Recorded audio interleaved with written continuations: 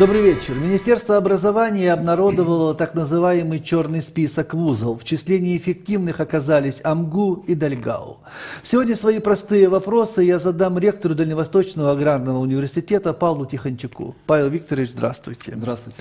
Вопрос такой. Скажите, почему один из старейших вузов Дальнего Востока оказался в таком незавидном черном списке неэффективности? Сами удивлены и удивлены тем подходом, который был в оценке деятельности вузов. Мы не отрицаем, эти показатели можно использовать для оценки, но не только их. И если бы нам задали вопрос э, по каждому из этих пунктов, на все вопросы, за исключением среднего балла ЕГЭ, я о чем дальше скажу, мы бы ответили. И то, что касается науки, мы ежегодно отчитываемся перед нашим учредителем Министерства сельского хозяйства, и к нам никаких вопросов нет ни по науке, угу. ни по финансовому состоянию вузу, вуза. И по всем этим критериям, в принципе, мы соответствуем тем требованиям, которые предъявляются к университету. Что вам ставили в вину? Что вам вменяли? В чем вы были неэффективны? В чем мы были Обвиняли неэффективны? Вас? Отмечалось средний балл ЕГЭ ниже порогового значения. Но я еще раз повторюсь, а, тот критерий, который поставлен, 60 средний балл ЕГЭ, он э, без учета региональной и угу. отраслевой специфики. Трудно этот вопрос решить любому вузу Амурской области, любому вузу и вузу сельскохозяйственному. А, вопрос э, инфраструктуры, обеспеченность площади – у нас предостаточно площадей, и просто мы посчитали – я не знаю, как это определить, либо арифметическая ошибка, либо что, но мы пересчитав все эти показатели, у нас достаточно и площадей в университете в соответствии с теми требованиями, которые предъявляются, и объем финансирования НИР, и общее финансовое состояние университета. То есть ваш арифмометр по-другому все пересчитал? По-другому. Сегодня вы в этом списке или вас уже вывели? Э, ну, с той информацией, которая есть, опять же, с Министерства образования, не перед, не поступала никакой информации в ВУЗ. То есть официально вам не никак... после, не после, но в разговоре с учредителем, с нашим, с Министерством сельского хозяйства, и заместитель директора департамента присутствовал на заседании рабочей комиссии. Рабочая комиссия, и в том числе на основании решения нашего учредителя, приняла решение исключить наш университет из списка неэффективных. То есть вы уже эффективные, да? Ну, по-моему, в неэффективном списке были знаменитое Вагановское училище балетное и литературный институт имени Горького. Вот как ты смотришь, думаешь, ну, мы-то по балету-то еще, наверное, впереди балет, планеты всей. Как-то там вот все было так. Вот перед началом нашего разговора я уже сказал, есть проблемы в ВУЗе одни, которые действительно нужно решать, да?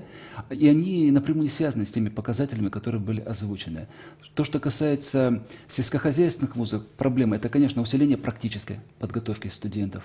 Это работа над э, увеличением закрепляемости выпускников на селе. Вот те проблемы, над которыми сегодня должен работать. Но это вуз. проблемы не университета, а общества, наверное, власти больше даже. Безусловно, это проблемы в целом и страны, ну и проблемы Амурской области. Знаете, что меня смущает? Что сегодня большая половина ваших выпускников деревню на жительство не выбирает. То есть государство их учит, э, как бы на одни цели денежки налогоплательщики платят, а получается совсем другое. Не совсем так. Вот все забывают, что у нас статус университета. Мы готовим специалистов по нескольким направлениям. Первое и основное – это специалисты для сельского хозяйства и перерабатывающей промышленности.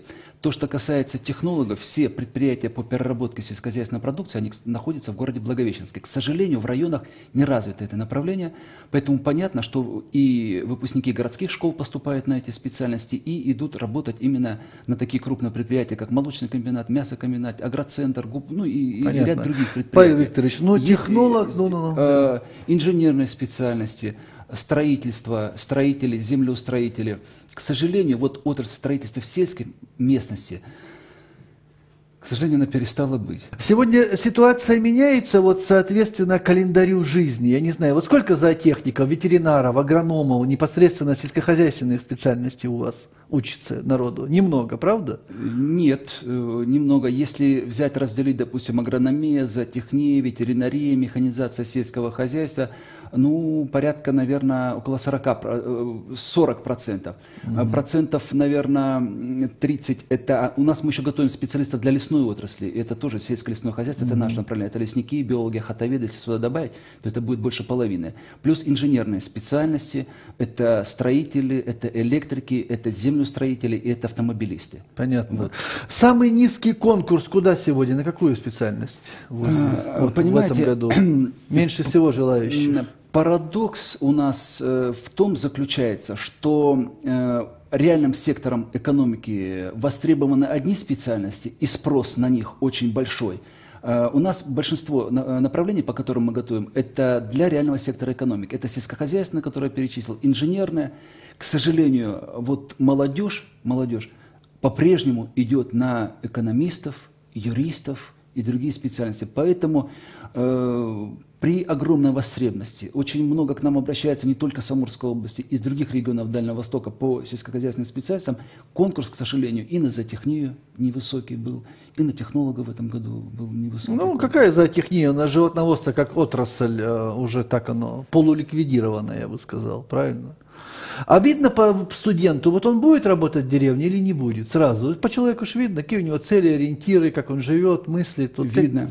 И больше том, что в последние годы э, позитивный сдвиг в этом направлении есть. Вы знаете, те меры поддержки, которые приняты правительством Амурской области, угу. они не случайно, они приняты потому, что нужны такие специалисты для развития области. Э, те положительные сдвиги, несмотря на все сложности, которые есть в сельском хозяйстве. Мы э, в этом году на, вышли на уровень миллион гектар, и на ближайшее время планируется до 2020 года более миллион двести, около миллион триста гектар ввести в оборот. Строятся животноводческие комплексы, и поднимается не только уровень заработной платы специалистов в сельском хозяйстве, но и меняются условия труда, новая техника – Э, новые технологии, новые технологии. Ну, не Поэтому агитируйте за хорошую жизнь на селе, этом... все все знают.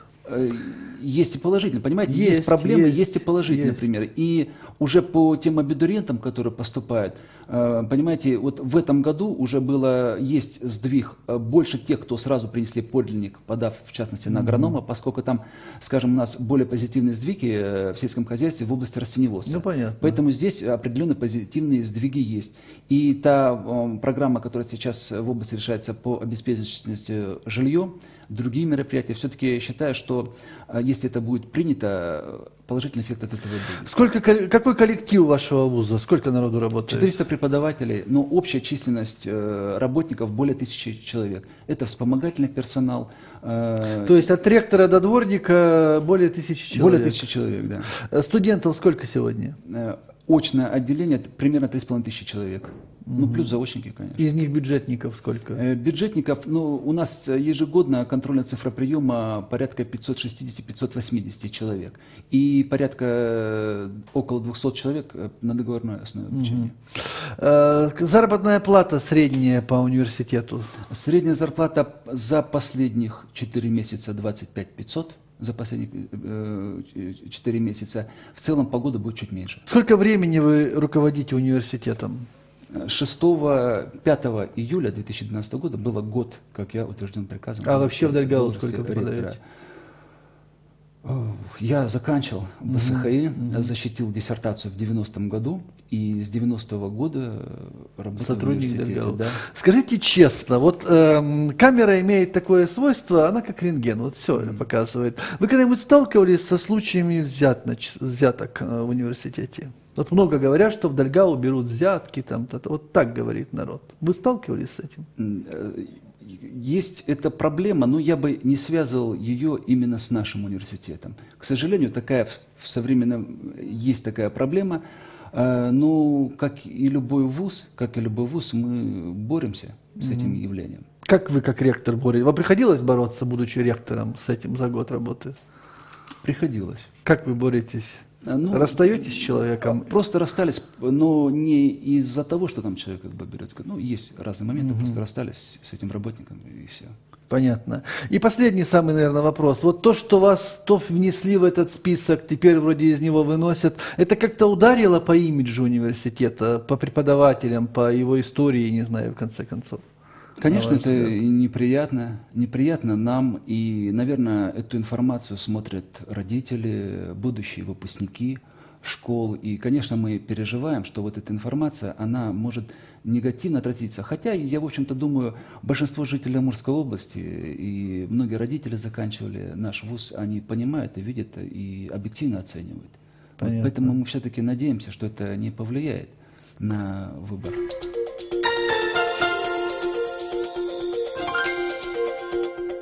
Понятно, спасибо. Это были простые вопросы для ректора Дальневосточного аграрного университета Павла Тихончука. Мы говорили о черных списках нашего образования, студентах, перспективах и развитии. Всем добра и здоровья, берегите себя и живите долго. До свидания.